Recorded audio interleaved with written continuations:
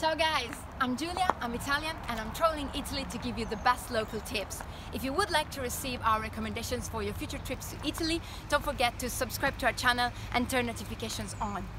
This video is dedicated to the best outdoor destinations and outdoor activities to do in Umbria, a small region in central Italy, also called the Lung of Italy. Uh, not very much known by international travelers, probably because shadowed by nearby Tuscany. In our short itinerary, we will show you Marmore Waterfalls, Piediluco Lake, Nera Gorge, and Trasimeno Lake. Let's explore together.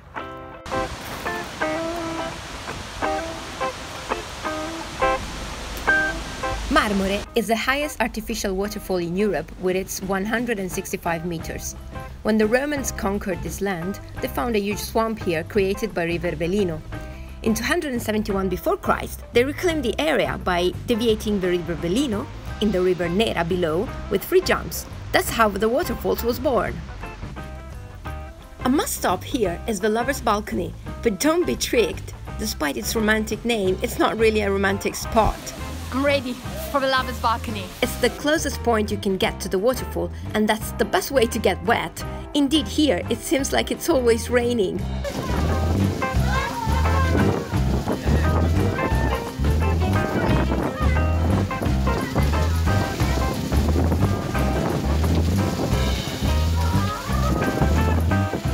It's called the Lover's Balcony because an ancient local story tells that a shepherd called Velino and a nymph called Nera lived here.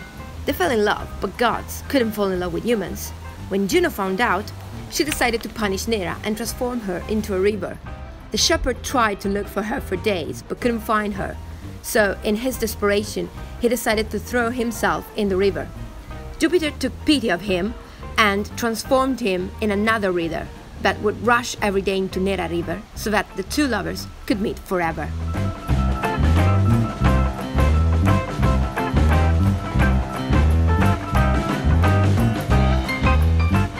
Sporty people will enjoy this place. There are many things you can do river walking, hydro speed, tubing, kayak, and boat tours. We opted for rafting. Rafting here is a really adrenalinic and exciting experience. We highly recommend it. It departs just at the bottom of a waterfall where the water runs very fast. If you have never tried rafting before, you can also opt for a softer one in a less difficult spot through the river.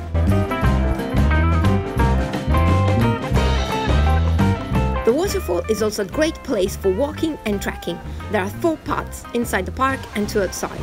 They are sometimes steep, but are also worth the view.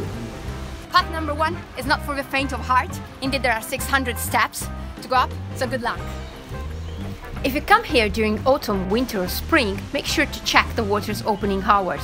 Indeed, for most of the day, the flow rate of a water is reduced to be used in nearby hydroelectric factories. During summer instead, the water is always at its maximum flow rate. Another suggestion, many people only take path number 1, 2 and 3 because they are inside the park. But if you just cross the street, you will find the entrance to path number 4, which is the farthest from the waterfalls but also the one that has the best view on them. Indeed, from here you can see all of it from the top to the bottom.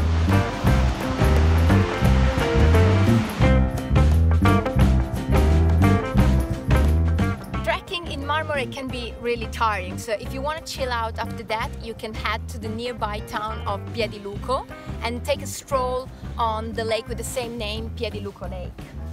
If you don't like to stop, like us, you can do some other activities like you, you can rent a paddle boat and explore the lake by yourself. You can also rent a canoe or you can just decide not to do any more movements and take a boat tour around the lake. If you still have energies after that, uh, you can enjoy a beautiful panoramic view over the lake by climbing up to an ancient castle over the hill. Uh, it's a 45 minute walk.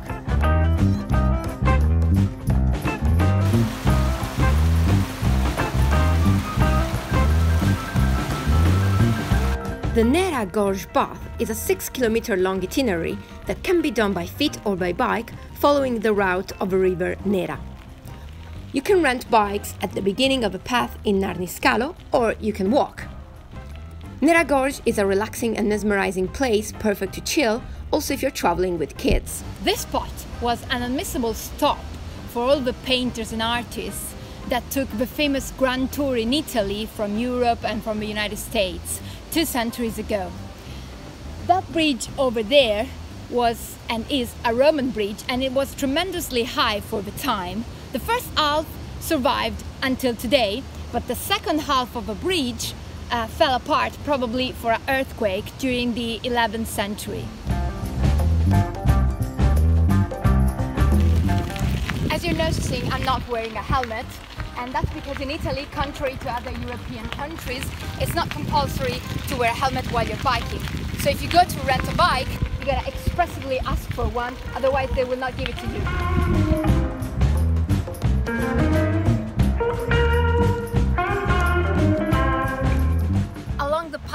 Will see Stifone, a tiny little Roman village that used to be one of the ports of the imperial city.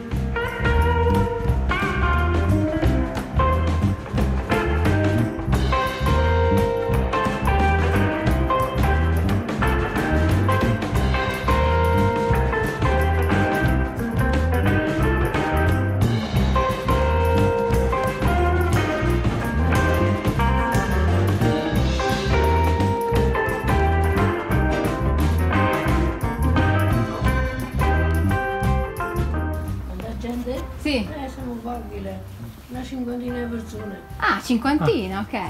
Allora, Tra tutti sì, via. si sta bene qua, lontano dal traffico. Eh beh, via, se sta bene, se sta bene, dappertutto, se stai bene. È vero, quello è vero. Eh,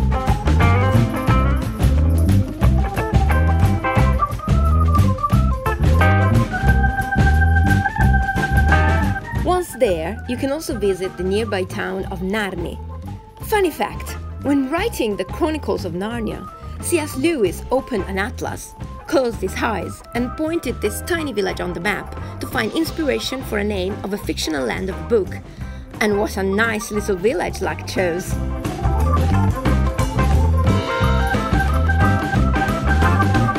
Trasimeno Lake is halfway between Florence and Rome and less than 30 minutes away from Umbria's major city, Perugia. It is the largest lake in central Italy and the fourth largest in the entire nation. Here you may be far from the seaside, but you still have beaches and many water sports to try, like kayak, windsurf, and sailing. It's also a great spot for trekking and Nordic walking.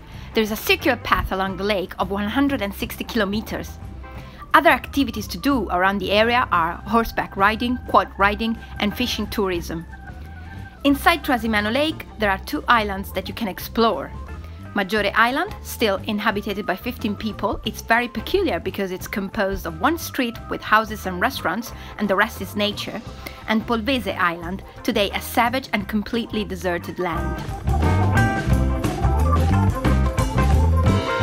The best towns to stop by on the lake are Castiglione del Lago, Passignano sul Trasimeno, or San Feliciano, where many of the activities I just mentioned take place.